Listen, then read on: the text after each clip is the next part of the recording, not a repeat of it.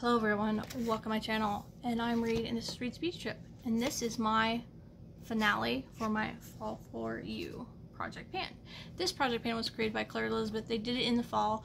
Um, mine was basically from the fall till Valentine's Day, so I could get some use and some love out of these products.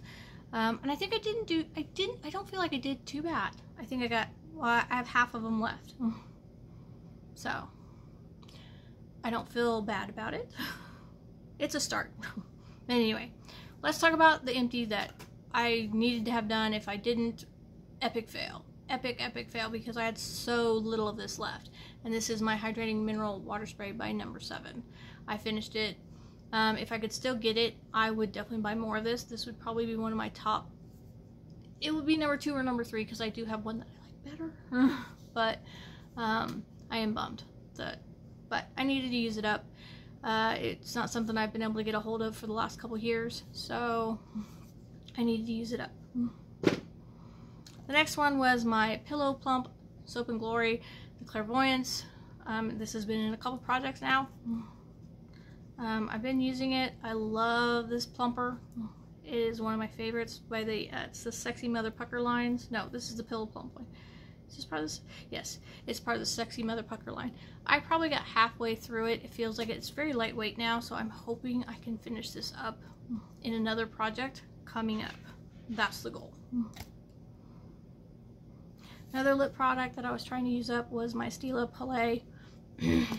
and I used it almost every day possible. So I've got probably half of it used. Um, but I have other nudes that I really want to work on um, with what's going on when you have to wear stuff and, and nudes worked really well. So I do like this one. Um, I don't know when I will get back to it, which sounds really bad, but it's the truth. I just don't know when I'm going to get back to it.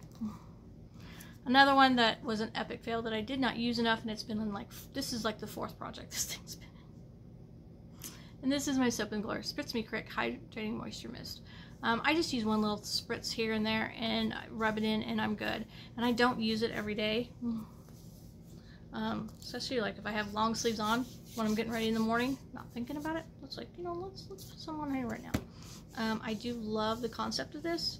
I love how it goes on my skin. And that bergamot. I really do love the smell of that bergamot. So, but it's an epic fail. Four projects and I still haven't got squat done with it. One of that I'm close to getting done. I think it's down to, it's lower than that line, um, is my Tinted Moisturizer by number seven. I mean, this project is about your favorite items. So you guys are going to see a lot of number seven in this project because it's my favorite items. But um, this was one of my favorite uh, tinted moisturizers. I go back to this every time. I try other ones and I just come back. I just keep coming back to this one. um, I bought probably about four tubes of this. I like how this goes on. I like how it feels. I love it wearing it on my non-makeup days when I'm just doing skincare. This is my go-to moisturizer. So that's two days out of the week and stuff. So hopefully this will make it into a project for me to finish up also.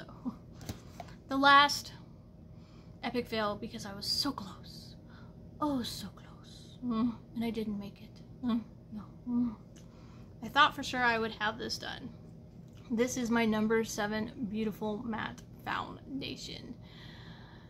No. Mm. I didn't get there. So close.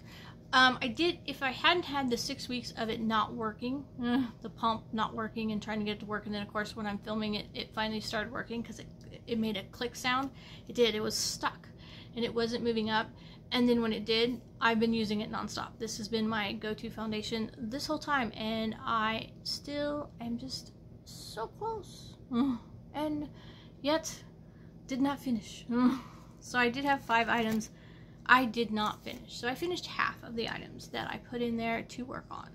So I don't feel like it's a bad fail, but it wasn't a great uh, success. But I did finish five items. Five I did not.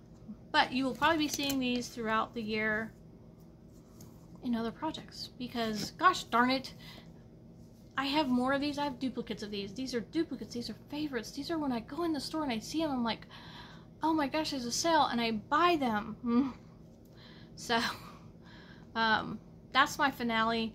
Um, but like I said, you'll probably be seeing some of these in some other projects that they need to be used on. So hopefully everybody else enjoyed it. Um, please check out Claire Elizabeth. She comes out with some wonderful project pan ideas. I really enjoy how she thinks things out and plans them. So definitely check her out and check out the rest of the ladies that are and gents that are project panning and I will talk to you soon.